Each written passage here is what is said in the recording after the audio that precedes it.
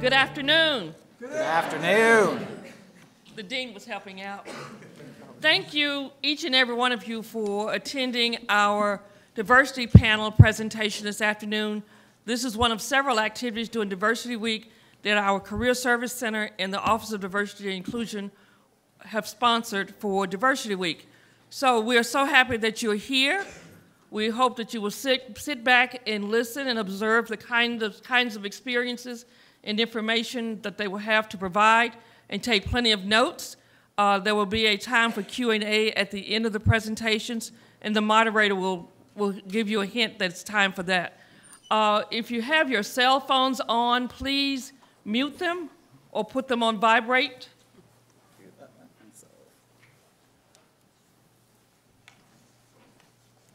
And again, thank you for coming.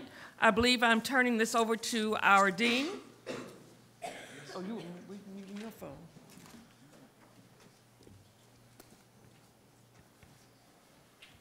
Good afternoon. Good afternoon. Thank you, Barbara. Great introduction.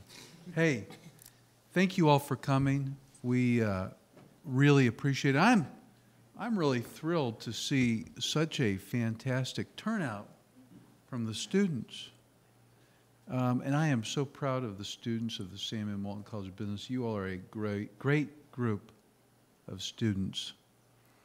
Um, this today is, this panel is very important.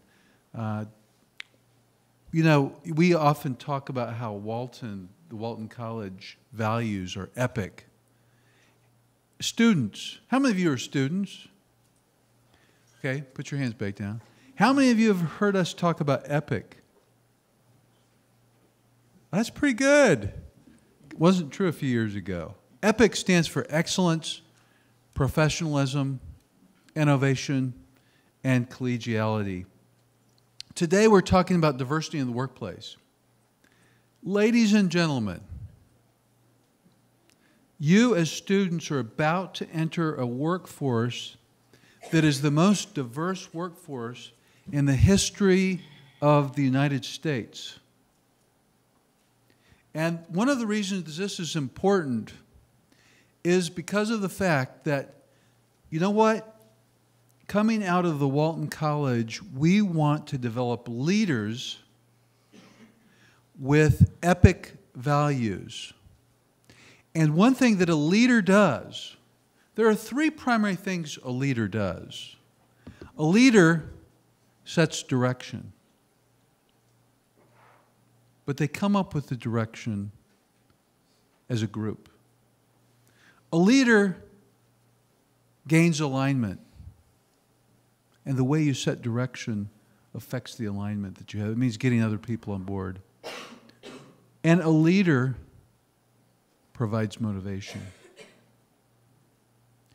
You really can't be a good leader because you can't gain alignment and provide motivation if you don't have an awareness and understanding of diverse groups. And that is true more than ever. So, one of the reasons this panel is so important is because they're going to be giving you insights into diversity in the workplace, which you need to understand. Because we want you to come out of here as leaders. The world is short on leaders. The world needs leaders. And they don't just need leaders, they need leaders that are caring and kind and compassionate and that have epic values like we have in the Walton College. So, students, you can't imagine how thrilled I am as the Dean of the Walton College to see so many people here. I hope that you take every word in, try to learn as much as you can. And while I'm not introducing the panel, I'm going to thank them. Of course, I know, I know two of them really well. I know Todd and I know Ebony. Um, Todd uh, has done a great amount for us. He's always willing to help the Walton College. Thank you, Todd, for doing that. I'm, I'm not introducing him, I'm just saying thank you to him. and Ebony I'm, Ebony, I'm not introducing you either, but I'm thanking you. Um, Ebony works at General Mills, and I have a special heart for General Mills.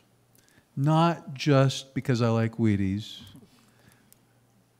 maybe a little bit more because I like Grands biscuits and Grands cinnamon rolls, but that's not it either.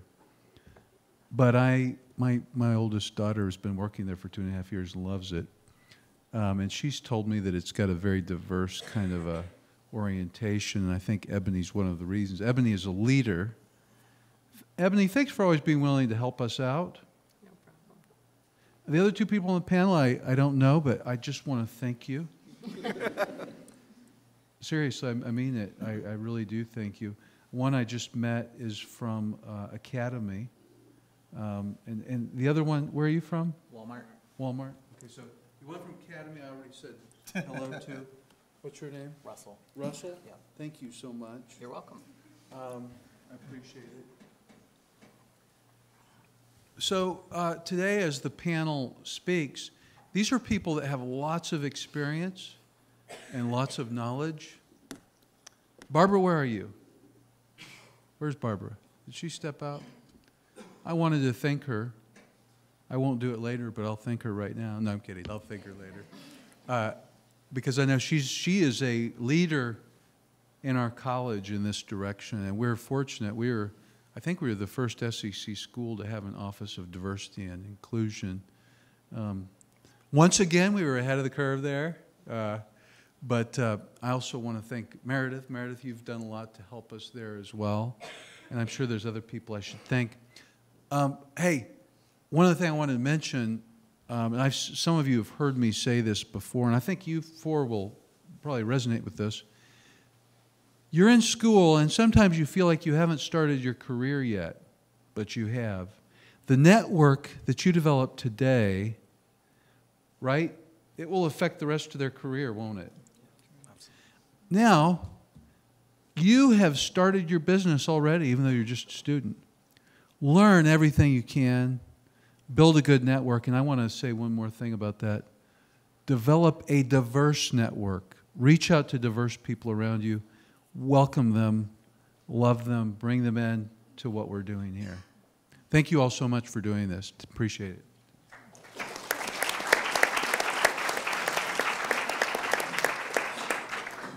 Hi, everyone. My name is Meredith Adkins. I direct the Employer Relations team in the Career Center.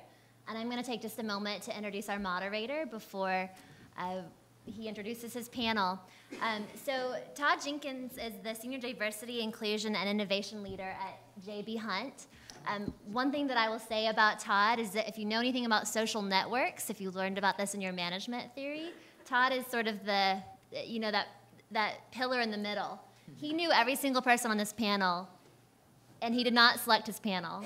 And they all work for different companies, and their jobs don't intersect, but everybody knew him. So I've been impressed.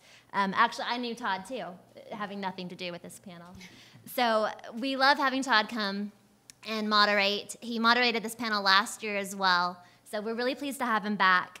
Um, Todd is an alumnus of the University of South Carolina, Illinois State University, and University of Arkansas. He serves in various leadership roles, including being on our Diversity and Inclusion Board here at Walton College.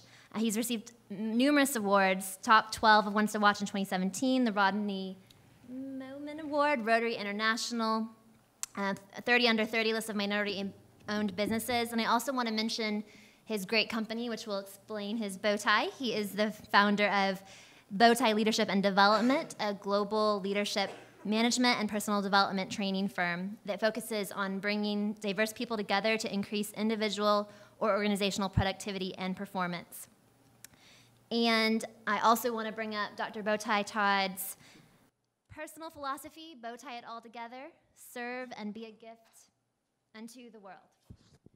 So with that, I'm going to turn it over to Todd to get us started. Awesome. Can we give a round of applause for this awesome leadership? We we don't have a lot of time. We only got 45 minutes, and diversity conversations can take 45 years. Clearly, that's why we're still here um, talking about this. So, we're going to have fun tonight. We're going to talk about some things that may make you a little uncomfortable, but hopefully, that uncomfortability will help you grow so you can make other people comfortable around you as you continue uh, to go through life. So before I get started into where we're going to go and have fun today, I'm going to have our panelists uh, really introduce themselves. Just kind of tell a very quick um, highlights of who they are and why they're interested in this work and um, that brought them here to the panel today. So we're going to go ahead and start with Chris Smith, the great Chris Smith. I've known Chris for a while now. But Chris, go ahead and give your awesome introduction. Thank you for having me here. Um, my name is Chris Smith. I went to the University of Arkansas, graduated with a bachelor's in both political science and public administration here. Um, I spent some time at Walmart, and I'm currently employed at Academy Sports and Outdoor. Um, anyone looking for a job, we're hiring. we'll be here all week. We will be here after that. But I think the thing that really turns me on about this, or really is is really recognizing some of the differences of what's going on, but really the opportunity to meet, learn new people, individuals, and really be able to drive some things that's going on within our business. So connecting people to the brand of the business and really being able to improve that. Awesome. Give a round of applause for Chris. Now we're going to go over Miss Wyatt, Miss Ebony. All right, I'm Ebony Wyatt. I'm a 2003 graduate of the Walton College with a degree in finance. I work for General Mills. I've been there for the past 15 years. I've started as an intern, and I am now the director of sales on the Walmart team. Just recently relocated back to Northwest Arkansas from Minneapolis about seven weeks ago. Um, so very happy to be here. It's important that I come, not only for today's panel, but every year I come back to support our recruiting efforts because it's important for two reasons. One, that you see somebody um, that is a Walton College alumni who is successful at the company. And then two, um, for those uh, young women or people of color, it's really important to see someone that looks like them. And so I'm very intentional about my time, and I wanted to be here today, and I'm happy to share with you. And thanks for everyone who put this together, and thank you guys for showing up today. Awesome. Round of applause for Ebony. Last but definitely not least, we're going to go up yonder to Walmart. Hey, Russell, tell us about yourself. Yeah, thanks, Todd. Uh, thanks, everybody, for having me here.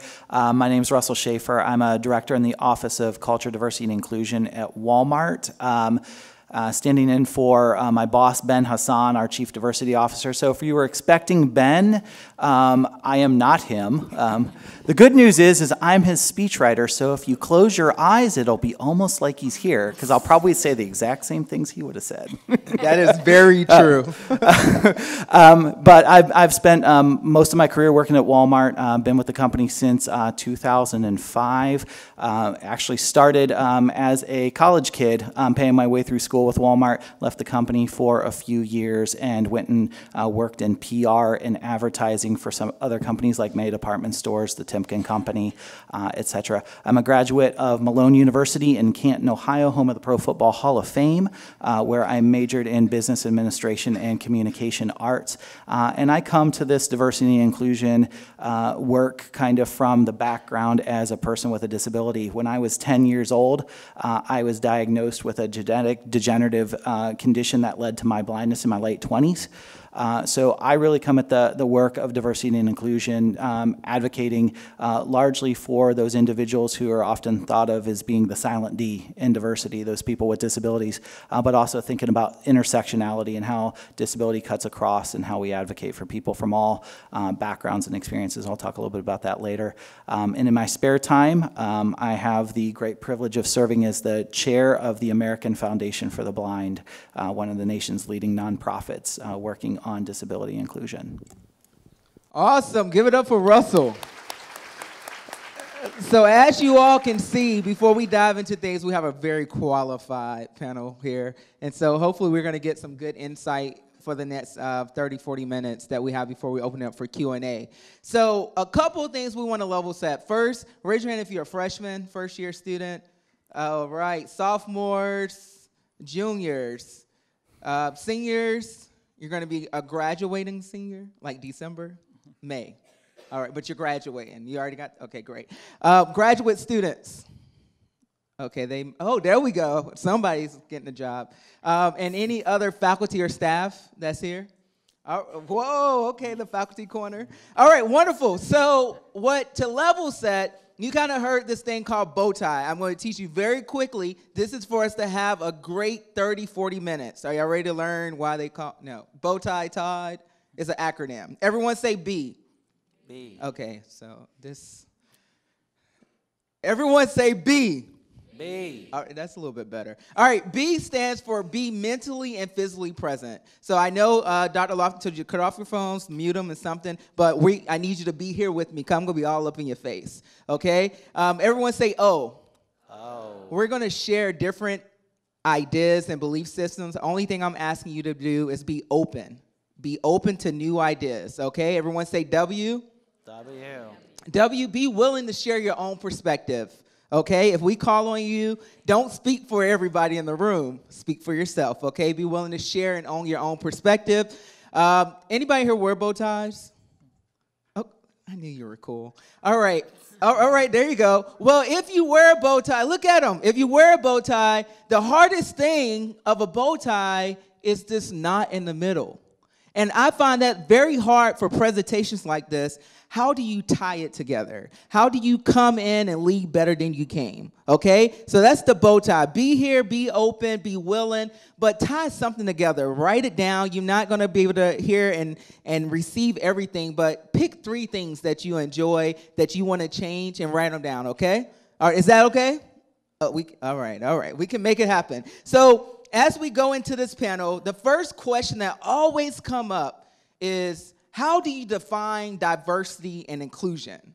You know, this word diversity and inclusion. And to level set, due to time, diversity is going to be defined for the panel, uh, and I and I will love the panelists to chime in onto this. But diversity is visible and invisible differences visible differences. Like, you know, I'm a good looking guy, I have on a bow tie, I'm a proud African American, I'm a, a male. Like, those are visible differences, right? Invisible difference. You may not know that I'm one of 11 kids. I speak Portuguese and I'm married. I'm happily from South Carolina, born in the inner city. Okay? Visible differences, what you see physically. Invisible, your backgrounds, things you can't see, your experiences, where you were raised. And guess what? Everyone in here is diverse. I know you didn't know that, but I'm just telling you. Okay? Inclusion. Inclusion is being able to respect all of those individual, uh, invisible and visible differences to create an equitable, high performing organization. That's inclusion. Equitable, equity. Equity is very simple. I use the words equity instead of equality because equality is simple. I give everyone here a shoe. Okay, you get a shoe, you get a shoe, you get you get a shoe in the back. But equity is giving everyone here a shoe that fits them. And that's a little more challenging to do in the workplace. So we're going to talk about that. And I also let, like to let people know inclusion, guess what? Everyone is included in that, including straight white guys. Yeah, you're right. Yeah, I'm talking to you. Because when we talk about diversity and inclusion, everyone think about everybody else except for white straight men. I see this in the workplace. I think about people of color, disabilities, women, but everybody in this room is included in this conversation today. Is that okay? All right, great. So go ahead and get started. When we go into the workplace panelists, they talk about the business case for inclusion. Do anybody want to chime in? Let's start with Ebony. You've been with General Mills for a while, and you have kind of seen this transition happen from this movement of compliance to diversity, education to inclusion. What is today's business case of why we even have this in the workplace? So for General Mills, if you think about our products, so we make everything from Cheerios to Grands biscuits to, to Wheaties, um, Yoplait, and a ton of other products. Um, we have to think about who actually uses our products. And they aren't all white, they aren't um, all young, they aren't all old. Um, and so for us to be able to think about how we market those products, we need to know the core, who the consumer is, why they buy our products. And if we all look alike within General Mills and we all think the same and we all went to the same school, it's really hard to connect to the consumer. So for us, it's really about making sure that we have a connectivity to our consumers and that our workforce reflects that. Um, if you think about how uh, even you guys as millennials are changing and um, you're making different choices in terms of the foods you eat faster than ever, um, we have to have that uh, perspective represented within our company so we can launch the right products, so we can make sure we're re reaching all uh, different targets. And so for us, it's really just understanding our core consumer. That's the business case for us. And we cannot truly market our brands and launch products that hit the core consumer if we don't know how to identify with them. So, as you all can see, diversity is good for business and it helps you get more profit. So, if you want more money, you're going to talk to me, right, about diversity. And that has been very interesting coming through the Fortune 500 companies and in the workplace, it's starting a new type of conversation. As you all can see, we all know our demographics are shifting every day. I mean, really, it's shifting, changing every day. And in order for us to continue to meet our consumers, especially who's in here business majors? Okay, so see, y'all want more. Everybody want to make more money, right? That's kind of I don't know, with this greedy, but People want to make more money. And if you want to make more money, you want to meet the people where they're at. You want to represent the, um, the stakeholders you serve. So, going along with the next question of putting the business case, everybody understand the business case, right? It's a business case where everyone is included and everyone is valued, okay? Um, so, putting the business case in action. That's a little bit challenging. Russell, will you speak to us a little bit about how, what does action look like with the diversity business case being put into motion in the workplace? Yeah, thanks for the question, Todd. So, um, just a level set, and since I can't see hands go up, give me a yes if you've ever heard of Walmart. You ever been in one? Yes. Okay. How many of you shopped on Amazon? Okay, that's not so good, but I'll let it slide. So, so when you think about you know the retail industry, and you think about Walmart, um, you know if you know a little anything about our history, um, you know we were actually one of the original disruptors of the retail industry. You know back in the late '80s, Walmart, um, you might be surprised to know, did not sell groceries. You know as recently as about 30 years ago, and from a standing start, Walmart went from not selling groceries to developing and introducing the supercenter format, and within less less than a decade being the nation's largest grocer. That's the essence of disruption. On the other side of the equation, you've got Amazon over here, who has been the original disruptor of e commerce. And so when you think about where retail is going right now, you got Walmart on one side, kind of the, the purveyor of the bricks and mortar, and Amazon, the, uh, the, the creator of e commerce um, superstore. Uh, what we find ourselves in today is a race to the middle. The company that can figure it out the, the, the best and the, the fastest is going to be the one that's ultimately the most successful. You see Amazon acquiring Whole Foods, starting to look at other bricks and mortar um, opportunities. You got Walmart uh, acquiring Jet.com, Bonobos, um, ModCloth, you know, and building out our own e-commerce capabilities, all for the express purpose of trying to figure out how do you create a frictionless uh, environment and experience for your customers um, so that they can you know not only save money live better as you know as we've made our mantra at Walmart but more than that so that they can save time. They want convenience. And so in order to be able to do that in order to be able to figure out how to put those two seemingly divergent elements of bricks and mortar retail and e-commerce together you've got to have an environment where you have people who think about things differently. You know in order to innovate or come up with new ideas, you've got to differentiate. And in order to differentiate, you need to have diversity, which we define at Walmart as a workforce or community uh, with unique experiences, styles, ideas, identities, abilities, and opinions. In order for that diversity to work, you have to have an inclusive environment where these diverse people come together and are able to collaborate. Inclusion comes from creating a culture and having leaders who actively engage, support, and champion all of that uniqueness in order to empower and inspire individuals to be high performers. So that's what we're trying to do at Walmart is to not only create an environment where, as Todd said, um, you know, individuals who are visibly diverse, people of different ethnicities, genders, sexual orientations, people with disabilities, et cetera, are able to work together, have their voices be heard in order to be able to move the business, but that we also have this notion of functional inclusion as well, where our store operators and our programmers and uh, e-commerce folks are able to see that they are not working in opposition together, but they're actually working together as one for the sole purpose of serving our customers so that they can save money and live better. That's for us the essence of uh, the business case for diversity and inclusion is that in order to run a business, you've got to have people who see the business differently, but you've got to have an environment where those differences are valued and supported and able to uh, yield results for your end customer, whoever that might be. Awesome. Appreciate that, Russell. So you, we talk about internal business case, but we live in this global world. How many of you all have actually uh, been able to do study abroad? yet. How many of you all would like to do study abroad or go outside the country and do some cool stuff?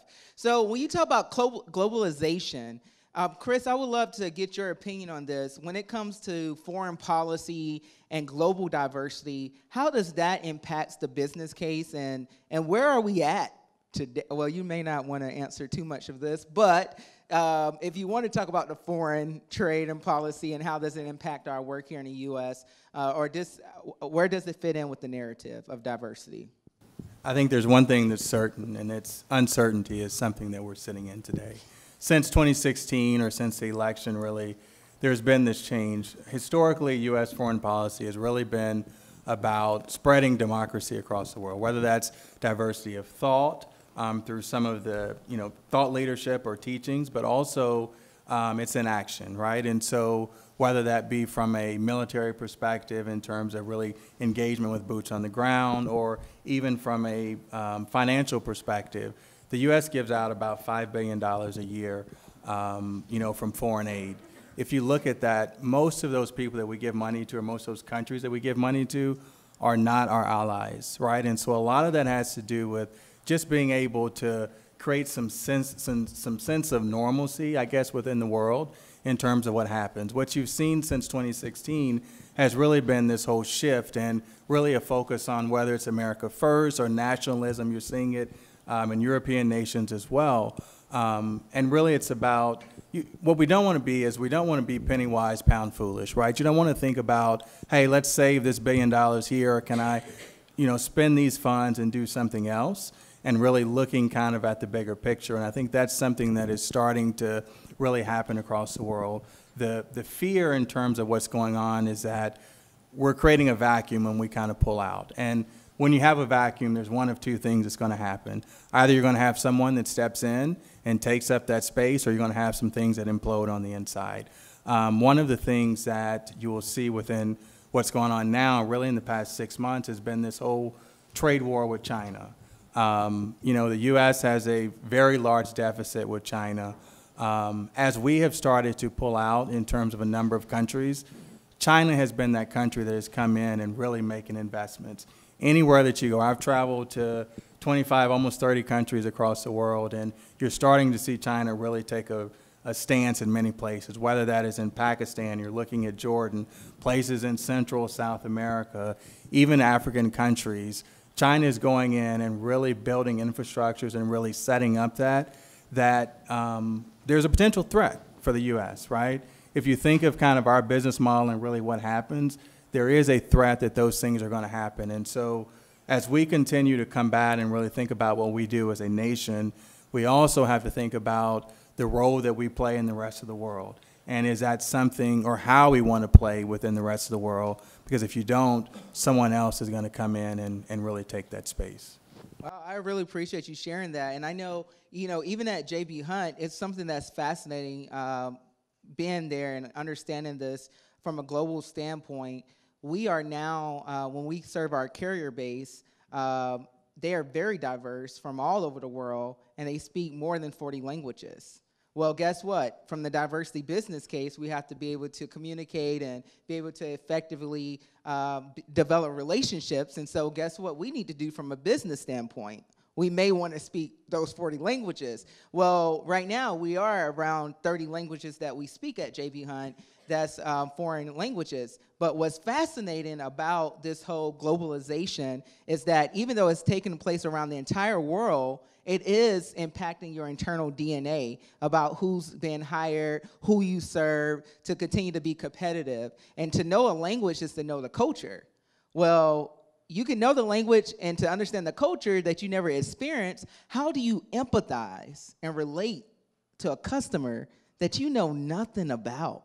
You don't know their culture. You don't want to say the wrong things. You know, how, this is something that I, I, a lot of people want to ask this question, but people are a little afraid to ask. Like, how do you approach someone that's looks so different than you are? What is the appropriate way of asking a question? And so I don't know if any of the panelists can just speak very high level. When you see someone that's different than you, a lot of people say, well, hey, it's common sense. Just smile and say hello or give them a handshake. Well, in certain cultures, your smile may mean something else. I may not want to touch you because I don't touch, you know, this type of opposite sex, etc. Uh, so, any any best practices from you all and your experience of how to embrace diversity when you don't even know how to approach it, just by the person sitting on your left or right? I- I can't speak to the global piece of it specifically. I'm just thinking about the world I operate in at General Mills. And one of the things we've been really focused on is empathy building. And that's really making sure that you put yourself in the other person's shoes. So if I think about how it might feel to be a new hire, how am I connecting? How am I building bridges for them? How am, how am I introducing them in a meeting? How am I allowing them opportunities to speak up? And so, really, my focus and what I try to teach my team is have empathy. Yeah, you may not know, for example, what it's like to be pulled over by the police and be afraid, but let me tell you what my experience looks like. And in that way, we can start to build bridges and start to build understanding versus just us versus them. And so, for me, that's been the most impactful kind of journey we've been on in the last year is really a focus on empathy building and understanding where the, the other person's point of view and putting yourself in their shoes. Thank you. You want to add something, Russell? Go ahead. Yeah, I'll just tag on to that. You know, I, I think, you know, when we talk about what makes an inclusive leader, you know, one of the characteristics is this notion of cultural intelligence. And so I think when you're thinking about how you engage with people from other walks of life, whether it be from um, you know across town or around the world, I think the more you can learn to educate yourself around what their customs and cultures are, the better equipped you're going to be in order to be able to engage in a dialogue that's that's meaningful um, and thoughtful uh, and inclusive of, of where they're coming from. But I think also being mindful of you know this notion that I think we get caught up in the difference so often, uh, yet um, for every every facet of our identities that's different, you know, realize that there's probably tenfold that are the same. So realizing that, you know, around the world, people have the same wants, uh, dreams, hopes, and desires as, as most all, all of us sitting here in this room. You know, the way in which they go about their day to day might look a little bit different. The foods they eat might be a little bit different, but they still want to love and be loved. They want to do work that's fulfilling. They want to be able to leave a legacy. Um, they want to do good and be valued. And if you find a place to connect in that common ground of the things that we share that are the same, then it creates a natural opportunity to embrace and learn about and appreciate the things about us that are different. Okay, thank you for sharing that. And you'll see that as you continue to get into this work stream or even as you grow into your career. Um, emotional intelligence, empathy, cultural intelligence, those are all platforms that's key for you to be an inclusive and effective leader. And so, if you ever have an opportunity to take classes like that now or experience that in your organizations or student clubs, go after those webinars, try to learn because that really help you appreciate differences and learn how to approach um, different cultures and different backgrounds. And that's very key. That's very, very key in the workplace because right now, most it's human nature you're going to go where you can survive. So you're going to try to find people that look like you, you identify or identify with to just survive. It's this comfortability. And right now, we all survive, and in this room, we're okay because we're all Razorbacks. Well, guess what? When you go into the workplace, you got Gamecocks, you got all these other people that you were taught to be rivals against. And you, what do you do? Do I go say hello? Do I say no and put my Razorback stuff up? You know, you, you struggle with things like this in the workplace. And so, how do you learn to empathize? with someone that's so different than you. These are key traits because you don't want just because they roll tide and I'm a Razorback and I'm not going to talk to them, so I won't ever get a promotion. I don't think that's going to step in the way of your promotion. If so, we need to really work on the curriculum to get you to empathize a little bit better that we are all from different ways, but we're all striving for the same thing. Um, and so you'll also learn another concept about unconscious bias. We do a lot of unconscious bias training at JB Hunt. They do it at Walmart. They do it at Academy. They do it at a lot of different places. And it teaches you how to be a little more aware of all the experiences you bring to the table that may get in the way uh, how you connect with someone. And it's very interesting. Like, we receive over millions of bits of information every second, but we only can retain 37. Guys, 21. So it's a struggle bus, okay? So if that's the true stat, that means 99.9999996% of our daily operation is in our unconsciousness. That's mind blowing, literally. But think about it when you're driving on the road and you're thinking about everything else except for those two little lines. It was a conditioned behavior. And when you become conditioned, it becomes second, it, it doesn't, it's not a conscious effort. Like everyone is sitting down. No one here is standing up. No one is here in front of me saying, Hey, Todd, you have learned that when someone is speaking, especially from a podium, you sit down and listen. So if that's a learned behavior, you've been learning this for 20 years of life, that a certain view and a certain perspective is right, it's kind of hard to change that if you're not aware or you're not or accept a different opinion if you're not aware that you bring that to the table. Okay? So that's a key takeaway. Unconscious bias, you should learn it, learn about your own experience. So now we go into the workplace and we understand that it's different support channels in the workplace. Um, you have offices like my office, like diversity and inclusion, you have affinity groups, employer resource groups. Uh, a lot of outreach efforts and philanthropy efforts, diversity recruiting, diversity marketing, like it's a lot of different channels. Um, if someone is going into the workplace, how can one learn about these groups? Um, what do these groups entail? Do you all know about affinity groups? Most, most times, students may not know. Can you, Ebony, I know you're involved with and the president of one. Um, will you talk to us about affinity groups and what they bring to the table? Let me, let me do my best to define affinity groups. Um, so at General Mills, we have several affinity groups for really underrepresented groups. And it's really a place um, for networking, a place for connection, um, and a place of support. And so if I think about it, General Mills, we have diversity groups uh, across ethnicity. So for example, I'm a member of the Black Champions Network. Um, we have across our gay, lesbian, and transgender community, which is called Betty's Family at General Mills. Uh, we also have a women's leadership network um, that's an affinity group or support group for women uh, because women are generally underrepresented in business and within leadership positions. And so um, it's just a way to build community and to make sure that folks who might not um, otherwise feel connected to the company. It's a great way to know that you have a safe space where you can share and learn. I know at General Mills, one of the things that we really focus on is development uh, within those groups. And so, for example, I might go to a, uh, a workshop within the Black Champions Network where we talk about executive presence, or we may talk about common issues that face uh, black women in corporate America, and how do we debunk some of the myths that might be out there. Um, if I think about being a part of, I'm also a part of the Women in Sales Network. And so really that's making sure that I'm creating opportunities for other young women, um, helping them to understand how to navigate uh, within sales and within General Mills, how to influence the customer. So really, it's really about support. It's really about learning and development.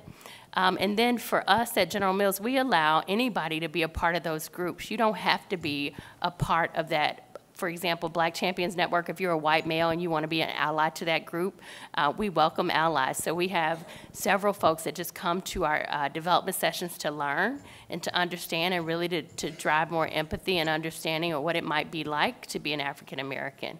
And so just because you see these groups, I don't want anyone to assume you're excluded because that's not the point of it. Um, I've been asked at work a couple times by some of my white male counterparts, well, there's not a white male group, so where can I play a role? And so instead of giving them the sharp tongued answer back or the joke back, is to say, you know what? I welcome you to be a part of the Black Champions Network and to come and learn more and figure out how we can best support one another. And so just thinking through how do we how do we build those bridges and make sure that people are, know that those affinity groups are for all um, and people can participate in them. So at General Mills, that's one of the things that makes it so special. Um, not only do we have affinity groups, we have we also now have inclusion councils. So anybody can be a part of those. You really don't have to feel like I have to be a part of this group. So we have one within sales that's called our Sales Diversity and Inclusion Council. So they may do everything from um, have a talk about unconscious bias to they may uh, have a Black History Month celebration. So it's a little bit of everything, but everybody is invited to be a part of those. So I know that's what General Mills does. My perspective, I've been nothing but positive in terms of um, feeling connected to the company through those groups, as well as getting some additional development in areas where um, I needed that development. So that's been my experience with affinity networks. Okay, and as you all can see, it's I mean, it's tons of different affinity networks depending on the company. I think that is a great question in your interview to ask what type of affinity groups. Uh, I if you are a white individual who asks about affinity groups, especially as a white male, and the company gets shocked that you ask, that might not be the right company for you to be going if they don't feel like you are accepting to that type of affinity group. Because you do get that in the workplace.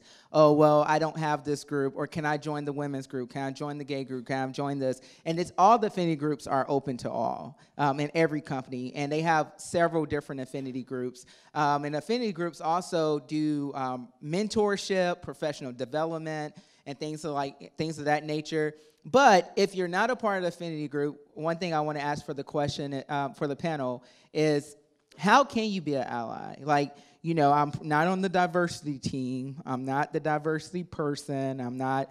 I'm not even an affinity group. But how can I be an advocate and, and an ally on my own team? You know, um, I spent 15 years at Walmart, um, the start of my career, and going to a smaller company, and I say smaller, $5 billion company at Academy, I was a little shocked that there were some things that we didn't have, right? Um, you know, at much larger companies, there's very different um, things that go on, and they're and a little bit more streamlined. And I simply asked the question of, you know, what affinity groups are there, or what's the diversity policy, and kind of got a few questions and didn't really know. And I immediately, I think I got a little upset, and so I started scheduling all these meetings. Right, I went to, I said, I'm going to go talk to the CEO of the company. I'm going to go talk to head of HR. And I really, I went down and I started going through a lot of those conversations. And the first thing that I found out was that, you know, there are things that are on the docket that are coming, and our company is doing some things, and really they're going to be released for next year. But it was really one of those things of you have to ask the question first and really figure out how to get engaged and to drive some change. And the thing I would tell everyone that's here is regardless of what role you serve in a company, you always have the opportunity or the ability to go create and drive change. If you see something that's happening or that isn't happening that you think needs to be there, go ask the question. Go start and really talk about it and see what you do. And, and for me as a leader, and as you get to that level, for me as a leader, I think about diversity every time I have an open position of hiring. Every time we go through on kind of on a quarterly basis and review talent, we're looking at that. And it's not from a a gender perspective or necessarily just a gender perspective or race or any of those things. It's looking at to say, how can I make the team different to be able to drive some results within the business? And I think of it that way of you don't want a team full of yourself, regardless of how smart you are, regardless of how strong you are, how good you are. If you have an entire team of just you, you're not going to be very successful in the future. You have to have people that are going to challenge you to think about things differently and really do things differently. And so for me, as I really challenge with in my own team, but also the people that report to me and as they build their teams, is we need to look at and make sure that we're respecting it and that we're also looking and trying to hire to that. We're asking those right questions. And it's again, it's not about how someone looks or what they look or how they it's really about bringing in diversity of thought. Really bringing in diversity of in terms of how all those things go because that's what really drives it. So I think of it really on two levels is one drive change, but also be a change agent as you get to a level that will allow you to bring someone else up and come through the organization. Okay, Russell.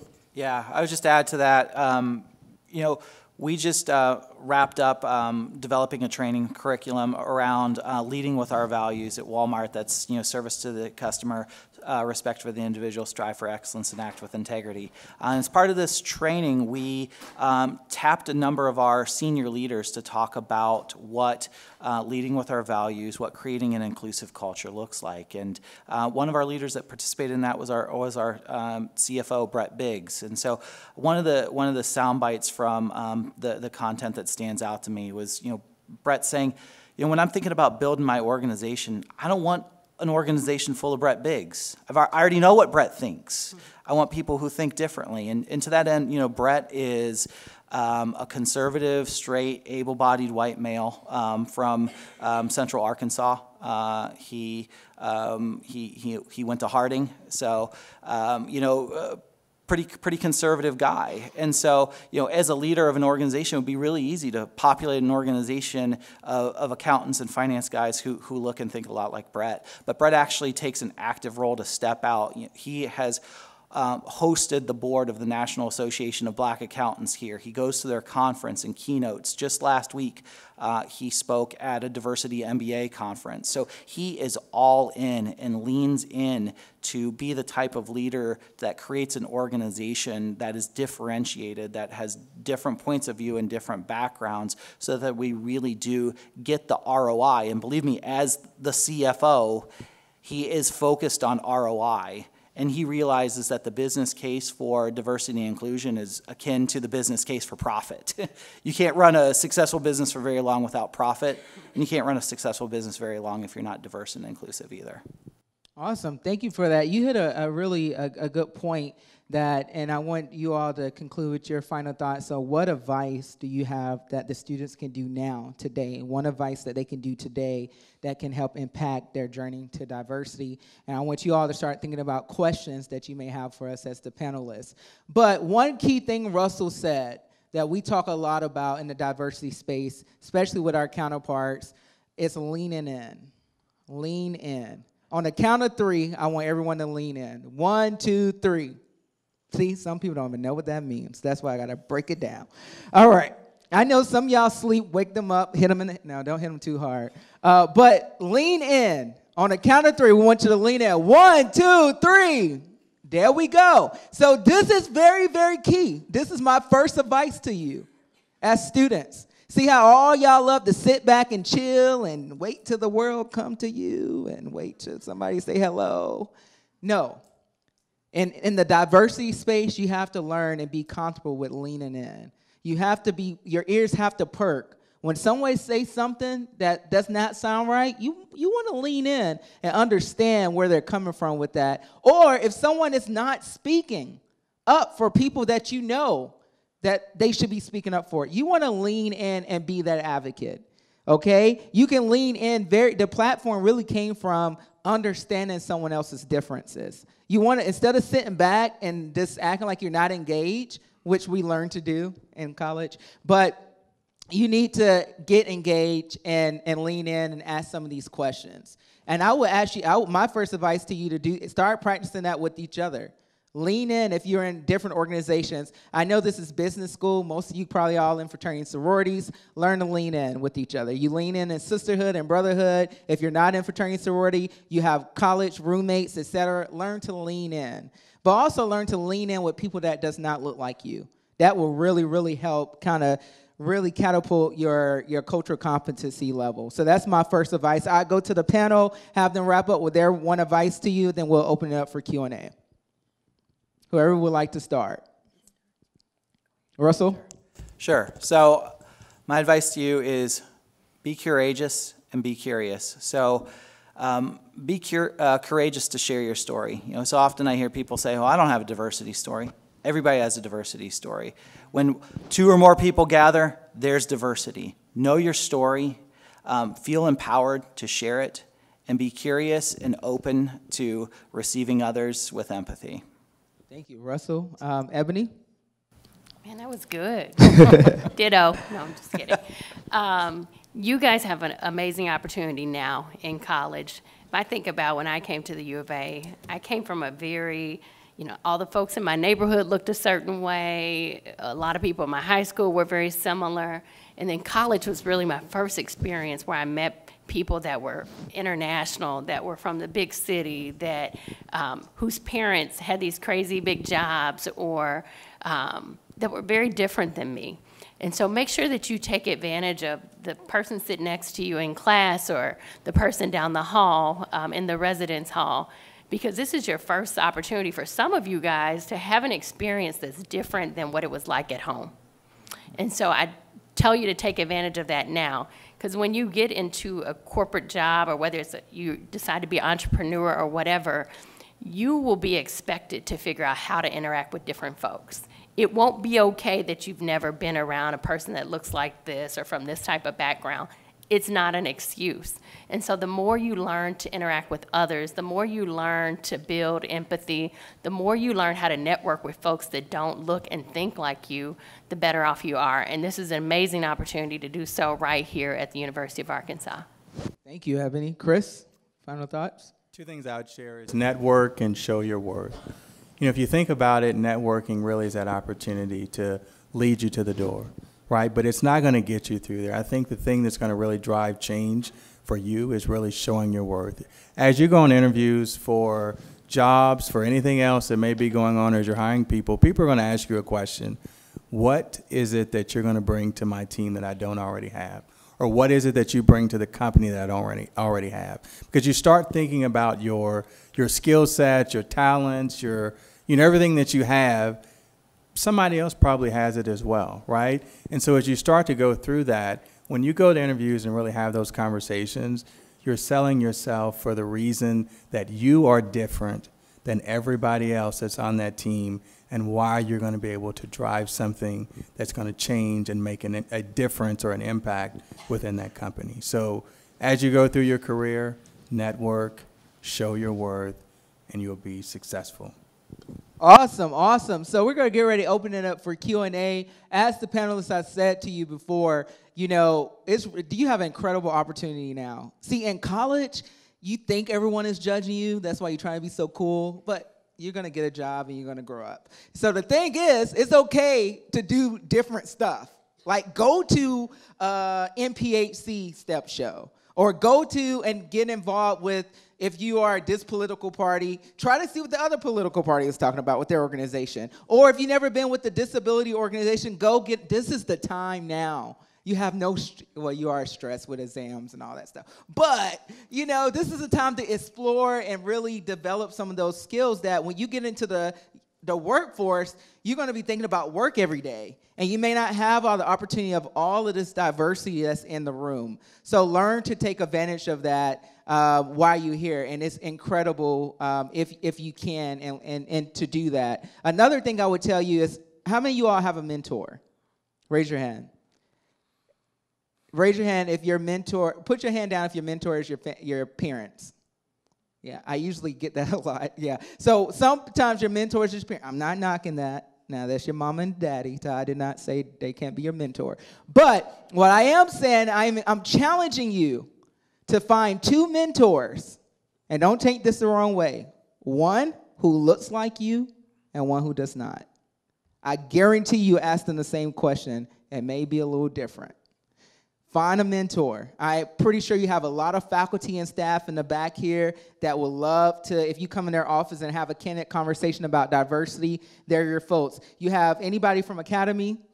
Got Academy folks here. Raise your hand. We want to see you, girl. All right, you got you got your folks here. Uh oh, uh oh. There you go. We got any Walmart folks? Uh, it's okay, y'all so big, we know.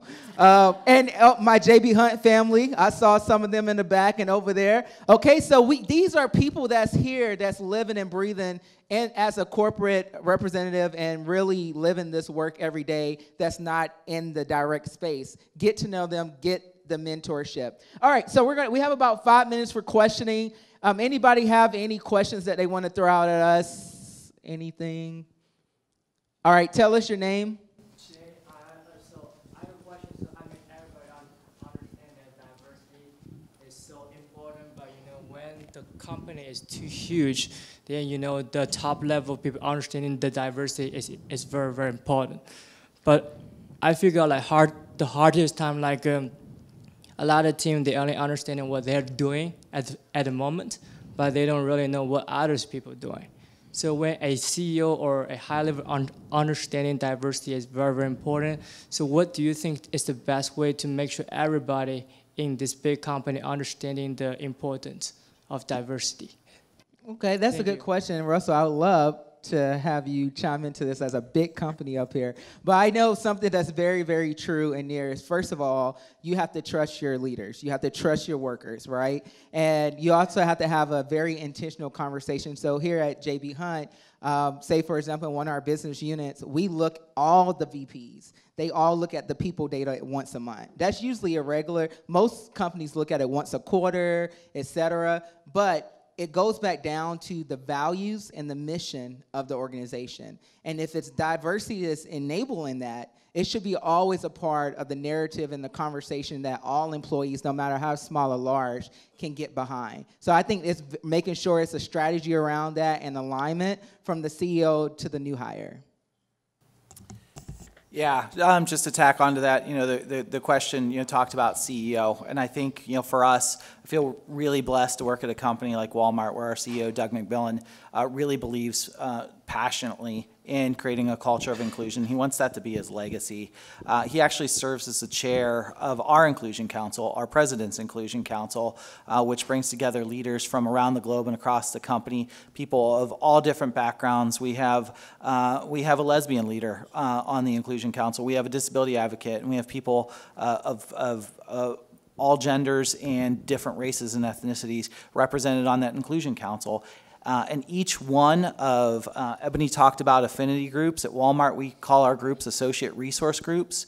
Each one of our seven associate resource groups has an executive champion who is a direct report of our CEO, helping that organization, helping shepherd them, mentor them, give them guidance and counsel, uh, open up doors, and, and provide access and opportunity, not only for them to be able to get things done, but to be able to bubble up ideas to leadership around things that, that need to be improved, ways in which the business can continue to optimize and to be more inclusive. So in order for things like um, diversity and inclusion to stick and to become a sustainable part of your DNA, uh, it takes commitment of the senior leadership, but it also takes folks at the grassroots level who are willing to roll up their sleeves and do the work. Thank you. Remember, diversity is a journey, not a destination. So we're always learning and growing together. Yes, ma'am. Hey, you were here last year? Yeah. Okay, I, sat thought I, right re- there. I thought I remember you. I remember you too. Awesome. Um, I yeah, this is a great thing. So as um, you know, we have a lot of big corporates being represented here. How do you guys deal with complications um, with individuals when it comes to diversity? Does that make sense? So if there's like conflicts between two individuals that maybe might deal with diversity uh, backgrounds, how do you deal with that? Anybody? Okay. I can take it, please. I'm going to use a Walmart term just because, but respect for the individual. You know, I have a friend that works for a company, and I won't say the name, but it's a large bank, and um, he said people at work fight, right? That's what they do. He said they they get into a disagreement and they fight and they just body slam people in the office, right? That's not what you do in the job, regardless of if you own a company or if you work for a company.